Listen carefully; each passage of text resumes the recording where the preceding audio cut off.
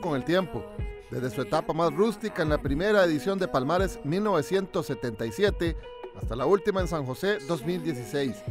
Ese cambio en el tiempo ha tenido sus razones. Conforme fue evolucionando el programa de Juegos Nacionales y fue también asumiendo las comunidades la organización de la misma, pues las medallas fueron cambiando. Y como dice usted, este, esas medallas fueron eh, diseñadas por cada una de esas comunidades. Por ejemplo, las medallas de Pérez Celedón, las medallas de Limón, la misma medalla de Liberia, que la medalla de Liberia es en madera, eh, con un dibujo del, árbol de Guanacaste. Y también tenemos la medalla de Cartago, que en una está la, campana de, las ruinas de Cartago, en la otra es una medalla eh, como de de un material especial como de yeso que se hizo para la primera edición de Cartago, muy linda. Pues evidentemente Costa Rica de antes era, las cosas se bastante distintas y por eso se, hacían medallas, yo creo, mucho más rústicas, ¿verdad? No, existía la tecnología de ahora también, ¿verdad? Que es un tema importante, la evolución tecnológica para el deporte ha sido súper importante. Y yo creo que también es un tema de dejar un legado, ¿verdad? Mucha gente siempre ha querido dejar un legado en la historia. Eh, sobre todo quienes han sido sede de los Juegos, eh, han aprovechado ese espacio de, deporte para poder dejar un legado en su cantón, en su región.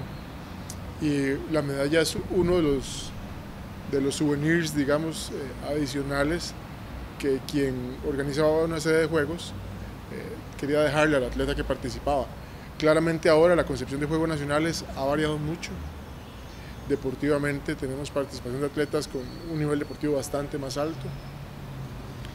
Creo que al haber atletas con ese nivel deportivo, tenemos que premiarlos con una medalla que, que refleje ese esfuerzo. La evolución en los Juegos Deportivos Nacionales no ha pasado en vano.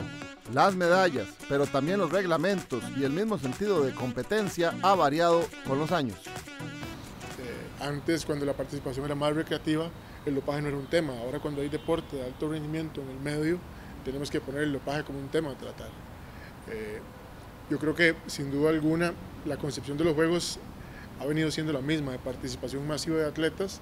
Sin embargo, en la práctica tenemos atletas de alto nivel participando que hacen el mayor de sus esfuerzos y entrenan sistemáticamente para lograr mejorar sus marcas y reflejarlo no solamente en Costa Rica, sino a nivel internacional después.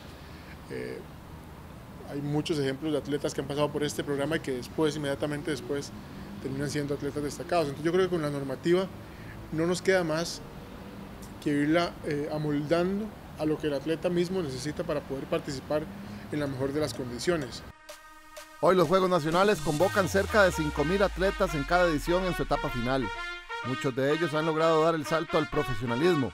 Leonardo Chacón, Gabriela Traña, Ana Gabriel, Gerald Drummond, Neri Brenes, Oscar Ramírez, Natalia Alfaro, David Jiménez, Ana María Porras, Susan Piedra, Shirley Cruz y muchos más experimentaron colocarse una medalla de Juegos Nacionales, primero para luego representar al país y luego colocarse una medalla de campeones del mundo en sus respectivas disciplinas. Esta Costa Rica de los años 70, frágil y de cambios, pero que vio crecer un proyecto llamado Juegos Deportivos Nacionales hace tanto tiempo es hoy una realidad en estas instancias. El sueño de William Corrales se convirtió con el tiempo en la fiesta deportiva de la juventud costarricense.